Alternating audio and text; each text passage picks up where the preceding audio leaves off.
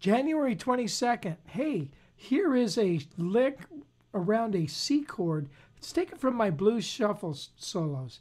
And uh, it is playing from a C chord. It's like a blues turnaround.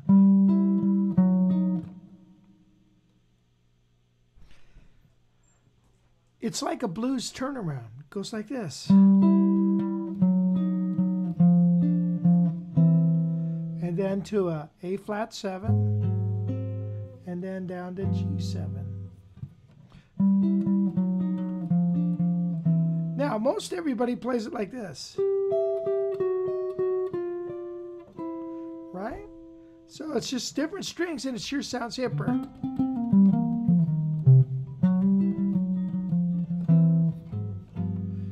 You could also play it right here. Okay? And then A flat uh, to G.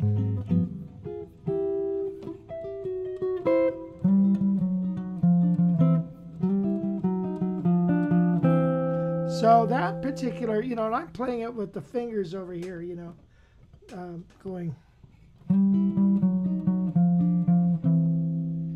So it's quite easy little riff. So that's a, it's just a fun little turnaround little riff within a blues, and uh, hey, you get a lot of mileage out of that puppy. Talk to you later.